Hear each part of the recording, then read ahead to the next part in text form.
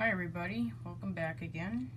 Seychelles was recommended or suggested in the previous videos, so I have, it's going to be a short video today, or for tonight. Starting off, we got 25 rupees.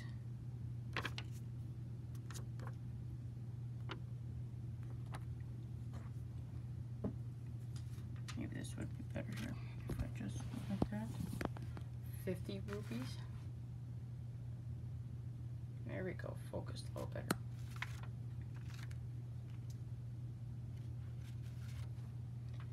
Um, 100 rupees.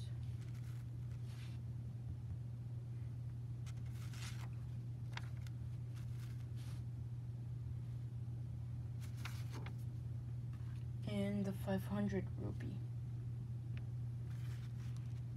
It's got this kind of a window here. It's not like a polymer note like Canada or your Australia or New Zealand.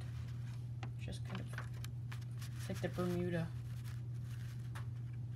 window here. And that is it. Thanks for watching. And if you want or suggest another country or a country you would like to see in the comments below. Thanks for watching.